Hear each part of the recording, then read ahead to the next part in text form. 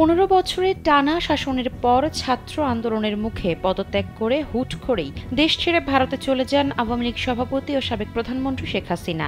শেখ হাসিনার ভারতে চলে যাওয়ার পর আওয়ামী লীগে নেমে আসে চরম বিপর্যয় ও হতাশা। দলটির বেশিরভাগ নেতাকর্মী এরপর আত্মগোপনে চলে যান। অনেকে দেশ ছাড়ারও চেষ্টা করেন। দেশ ছেড়ে আওয়ামীপন্থী অনেকে পালাতে সক্ষম হলেও তাদের একটা বড় অংশ ধরা পড়ছে বিমানবন্দর বা সীমান্তবর্তী অঞ্চলগুলোতে। এবার সৌদি পালাতে গিয়ে ধরা পড়েছেন আওয়ামী লীগের দুই নেতা। সোমবার রাত পৌনে নটার দিকে সিলেট ওসমানী আন্তর্জাতিক বিমানবন্দর থেকে তাদের আটক করেছে ইমিগ্রেশন পুলিশ। আটক ব্যক্তিরা হলেন সিলেট মহানগর আওয়ামী লীগের সাংগঠনিক সম্পাদক সৈয়দ শামীম আহমেদ ও প্রচার সম্পাদক আব্দুর রহমান জামিল।